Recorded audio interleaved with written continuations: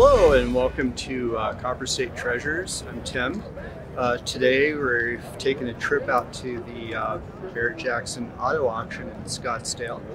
Uh, we're going to go on a little scavenger hunt. Um, whenever I've gotten a new antique car, first thing I want to do is find like a similar car, a car that's the exact model uh, that I have. I want to see how it was restored, uh, I also want to look at original cars, cars that have never been restored, and look and see how original it is and, and kind of compare it to my cars if I want to make any changes. We're going to go around and see if we can find cars 1930 and older. Uh, there's a lot of cars here. Uh, in my thinking, newer than 1935 is kind of a modern car for me. Um, I want to see cars that are taller, spindly looking wheels, uh, original motors, and uh, something where it kind of rattles when it goes down the road. You don't know if you're going to fall fall out of it, or uh, you don't know whenever it's going to break down. Uh, if I see an older car that's been uh, rotted out with a newer motor, that's just not that interesting to me. So uh, thank you for joining us. Please like and subscribe, and um, let's go on a scavenger hunt.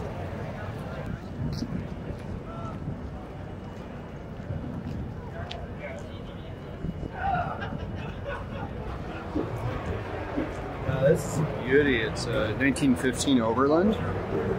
Uh, it's one thing I love about these uh, these older cars here. The the wheels. You got this uh, wooden felloe. Um, later, you know, manufacturers went to a steel felloe. It's, of course, it's demountable. You look at the lug nuts. One, two, three, four, five. There's, there's six lug nuts on that thing. Uh, Ford and Chevy had four. But just looking over the car here, a sleek design for 1915. It's got the um, the four leaf springs. There's two in front, two in the rear. Uh, you've got your uh, speedometer pickup here. That actually looks like Stewart Warner, to tell you the truth.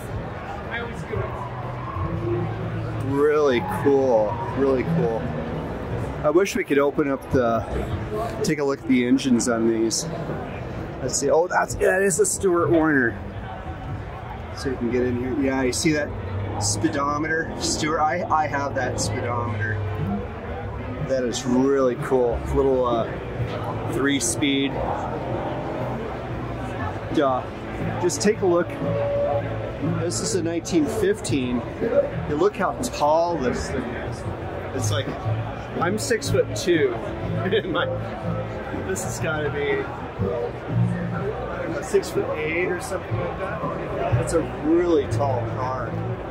Uh, these older styles, um, these would fold. Uh, let's see if you could fold. It folds back. Yeah, so it's you, you can loosen this. The windshield will fold, but there's another hinge here, so it's. Uh, some of these cars would fold. And it looks like the top probably loosens up right here. So they've got these supported here on the stanchion instead of like the, the Model T Touring I have. The top supports right here on, on the stanchion at the top. Um, you've got uh, kind of a similar saddle here for the top bows to rest in. Uh, this is probably a lock. So you put your top bows in place. This goes over and locks it down so it doesn't fly up. Uh, another cool feature you see here is uh, got the uh, stoplight. That's probably the original.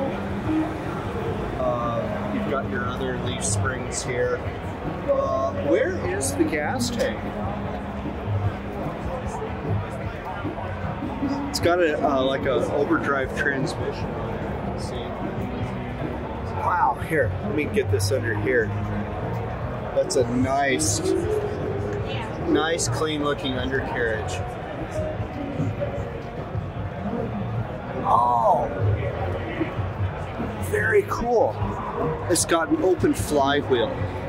Let's take a look at this. Oh, if I can get in here. We're going deep, deep under the overland here. I'm actually laying down. Let's go. Oh. Yeah, yeah, man.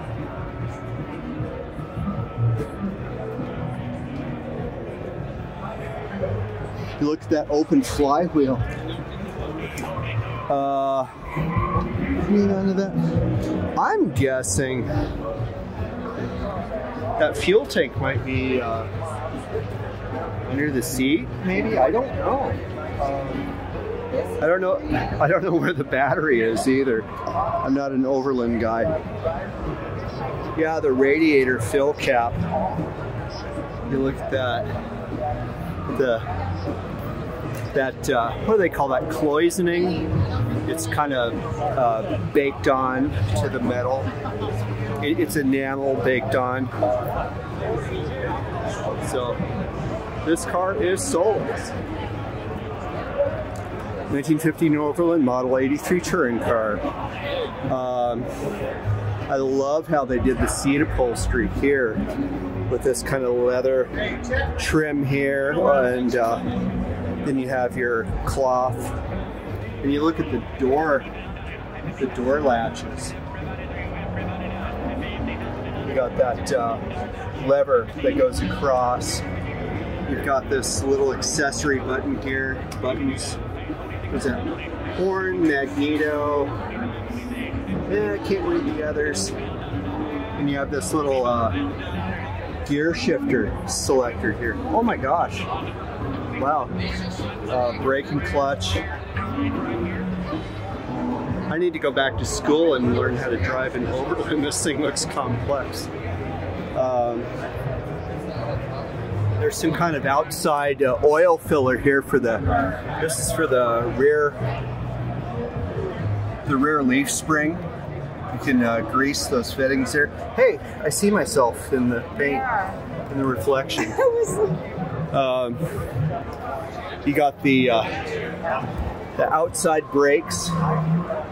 Um, and the other cool thing about these older cars is the uh, the leaf springs are kind of tapered off smooth. So you look at older uh, uh, older Fords, the earlier Fords had that that really beautiful tapered leaf spring there. And uh, some of these older ones, you can see how the spring kind of curls around. I think that goes back to um, like the old uh, horse and buggy carriage days.